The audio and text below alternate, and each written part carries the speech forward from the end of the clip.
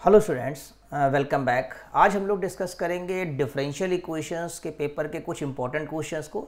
ये ऐसे क्वेश्चंस हैं या ऐसा कलेक्शन हमने लिया है जो मोस्टली इंडियन यूनिवर्सिटीज़ के एग्ज़ाम्स में पूछे जाते हैं, चाहे वो लखनऊ यूनिवर्सिटी हो, कानपुर यूनिवर्सिटी हो, या दिल्ली यूनिवर्सिटी हो। इस टाइप के क्वेश्चंस को जनरली पूछा ही जाता है। तो देखिए जैसे नाम दिया है एग्जामिनेशन प्रैक्टिस क्वेश्चंस यानी कि आप जब एग्ज़ाम देने जाएँ तो इससे पहले इन क्वेश्चंस की अच्छी तरीके से प्रैक्टिस कर लीजिए, जो कि इंपॉर्टेंट भी हैं। ये इंपॉर्टेंट क्वेश्चंस हैं और बीएससी मैथमेटिक्स के लिए हैं। बीएससी और बीए के स्टूडेंट्स भी कर सकते हैं, क्योंकि ग्रेजुएशन की जो मैथमेटिक्स है, वो बीएससी और बीए दोनों सेम होती है। और पेपर का नाम है आपका डिफरेंशियल इक्वेशंस तो देखते हैं, पहला क्वेश्चन हमने लिया है ये। Solve the following differential equations ये जो आप क्वेश्चन uh, वन के फोर पार्ट्स देख रहे हैं ये हमने first order and first degree differential equation से लिया हुआ है।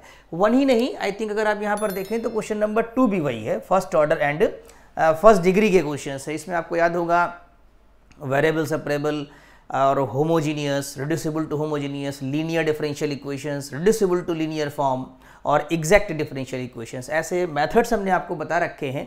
उन मेथड्स पर बेस्ड ये सारे क्वेश्चंस हैं। इनकी आप प्रैक्टिस करिए इनके सॉल्यूशंस को निकालिए दो तीन बार करिए ये बहुत इंपॉर्टेंट क्वेश्चंस हैं। और ये first order and first degree से हमने इनको uh, लिया है। नेक्स्ट देखिए आप ये जो क्वेश्चन आपको दिखाई दे रहे हैं स्लाइड में ये क्वेश्चन नंबर थ्री है solve the equation x square y minus p x equal to y p square देखिए, इसमें p यूज़ हो रहा है। ध्यान दीजिएगा आप, ये भी देखिए, यहाँ पर भी p है और ये भी p है आपका, और यहाँ पर भी p p याद होगा किसके लिए स्टैंड करता है? dy वाई बाई डी के लिए। यानी ये जो आप क्वेश्चन नंबर थ्री देख रहे हैं ये फ़र्स्ट ऑर्डर के डिफरेंशियल इक्वेशन है, लेकिन इनका डिग्री वन नहीं है। डिग्री नॉट वन यानी कि मोर देन वन डिग्री की प्रॉब्लम्स है। ये चैप्टर भी आपने अच्छी तरीके से पढ़ा हुआ है। ये काफ़ी इंपॉर्टेंट क्वेश्चन हैं। इनकी आप प्रैक्टिस करें। और ये नेक्स्ट जो है question number four show that the system of parabolas y square equal to four b x plus b where b arbitrary constant is self orthogonal ये किस चैप्टर से है? याद होगा आपको एक चैप्टर है ऑर्थोगोनल ट्रेजेक्ट्रीज ये जितने भी पार्ट आपको दिखाई दे रहे हैं, इसमें थ्री पार्ट्स हैं प्रॉब्लम की।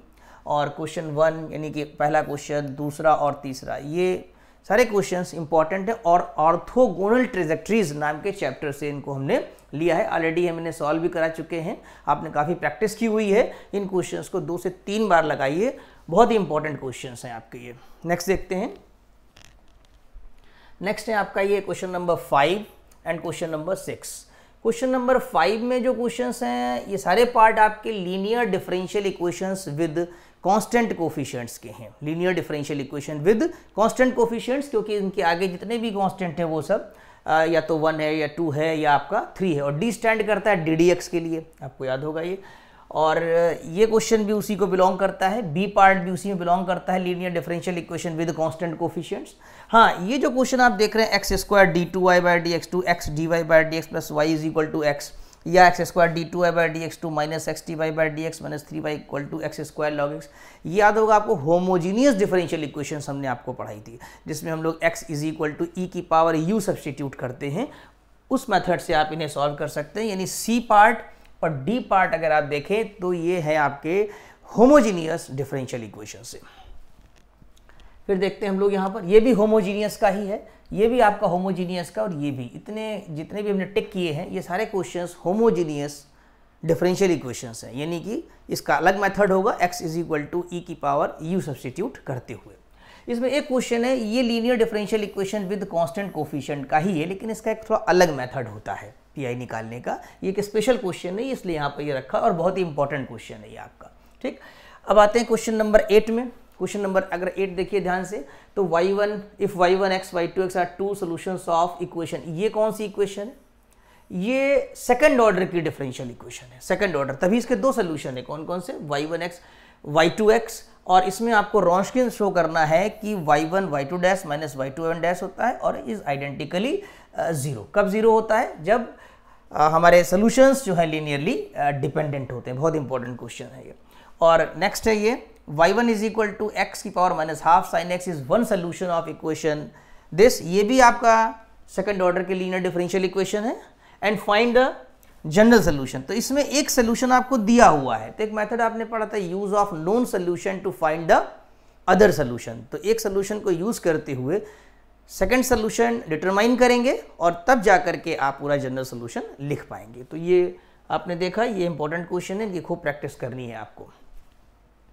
नेक्स्ट में देखिए। Find the particular solution of ये भी आपका सेकेंड ऑर्डर का ही है। और find the general solution of ये भी आपका सेकंड ऑर्डर का ही क्वेश्चन है। तो ये उसी मेथड से करेंगे, जो आपने सेकंड ऑर्डर में पढ़ा हुआ है। अब आते हैं यहाँ पर हम सिस्टम ऑफ़ इक्वेशंस में। सिस्टम में क्या होगा कि दो इक्वेशन होंगी, जैसा कि पहले आप ये देख लीजिए। Find the general solution of system ये एक प्रॉब्लम है। लेकिन यहाँ पर एक जनरल फॉर्म में दिया हुआ है और इसके रॉन्स्किन को शो करना है आपको कि is Wronskian of the two solution of homogeneous system then W T जो होगा इज़ आइडेंटिकली ज़ीरो और नो वेयर वैनिशिंग यानी कहीं पर भी ज़ीरो नहीं होगा वैनिश नहीं करेगा। ये इसका रॉन्स्किन है और ये सिस्टम ऑफ़ इक्वेशन आपको दिया हुआ है। और यहाँ पर उसी पर रिलेटेड प्रॉब्लम्स हैं। ये एक रॉस्किन के बारे में है और इनको आप सॉल्व कर सकते हैं। नेक्स्ट में आइए आप। यहाँ पर जो दिया है आपका, ये भी पावर सीरीज़ मेथड से किया जाता है इन प्रॉब्लम्स को। याद होगा फ्रोबिनियस सीरीज़ सोल्यूशन एक आपने पढ़ा था और एक सिंपल पावर सीरीज़ मेथड पढ़ा था। तो इसको पावर सीरीज़ से करेंगे। Find the recursion formula for the equation तो पावर सीरीज़ मेथड लगा करके ये कर लेंगे और यहाँ पर ही पावर सीरीज़ लगेगा, लेकिन फ्रोबिनियस सीरीज़ सोल्यूशन अप्लाई करेंगे और इसको सॉल्व कर लेंगे। फिर देखते हैं यहाँ पर हम बेसल्स फ़ंक्शंस भी पढ़े हैं आपने। बेसल्स फ़ंक्शन में जनरेटिंग फ़ंक्शन हमने पढ़ाया आपको। तो जनरेटिंग फ़ंक्शन बहुत इंपॉर्टेंट है, ये पूछा जाता है मोस्टली एग्ज़ाम्स में।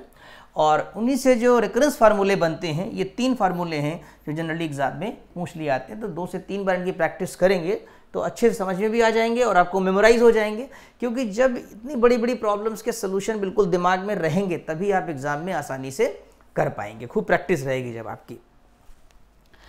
नेक्स्ट में आइए। ये है discuss generating function of Legendre's polynomial ये क्वेश्चन नंबर थर्टीन है आपका। लेजेंड्रे पॉलिनोमियल्स पढ़ा हुआ है आपने। तो उनका जनरेटिंग फ़ंक्शन जो होता है, वो डिस्कस करना है यहाँ पर आपको कि जनरेटिंग फ़ंक्शन कौन है लेजेंड्रे फ़ंक्शन का। और इसके बाद जनरेटिंग फ़ंक्शन जो कि पी से डिनोट किया जाता है, उसके लिए एक फार्मूला है रोड्रग्यूज फार्मूला ये वो पी जो है, वो रोड्रग्यूज फार्मूला से भी जनरेट किया जा सकता है। ये बहुत ही इंपॉर्टेंट क्वेश्चन है। अब देखते हैं यहाँ पर हाइपर हाइपरजोमेट्रिक सीरीज़ पढ़ी है आपने। हाइपर हाइपरजोमेट्रिक सीरीज़ में शो करना है कि tan inverse x is equal to x F one upon two semicolon one semicolon three upon two semicolon minus x square एक रिज़ल्ट ये प्रूफ करना है, एक रिज़ल्ट ये। बहुत पूछे जाते हैं एग्ज़ाम में ये। इसी तरीके से हाइपरजोमेट्रिक सीरीज़ का ही एक फ़ंक्शन है F a comma b semicolon c semicolon z gamma c upon gamma b gamma c minus b zero to infinity t zero to one है t b minus one one minus t c minus b minus one one minus z t की power minus a d t ये hypergeometric series का integral form है। ये भी exam में बहुत पूछा जाता है। और सबसे लास्ट में हमने यहाँ रखा है पिकार्ड्स मेथड का कि using Picard's method obtain the approximate value of Y for X is equal to point one and X is equal to point two given Y zero one for the equation ये Picard's method से आपको दोनों problem solve करनी है। इसमें भी है कि apply Picard's method for the equation, dy by dx is equal to x square plus y with y0 x0 up to the third approximation. तो आई थिंक ये पूरा समझ में आ गया होगा आपको। इन क्वेश्चंस को आप कॉपी कर लीजिए और दो से तीन बार कम से कम प्रैक्टिस करिए, जिससे कि बिल्कुल मेमोराइज हो जाए आपको। और ये बहुत ही इंपॉर्टेंट क्वेश्चन है एग्ज़ाम्स के लिए। Thank you so much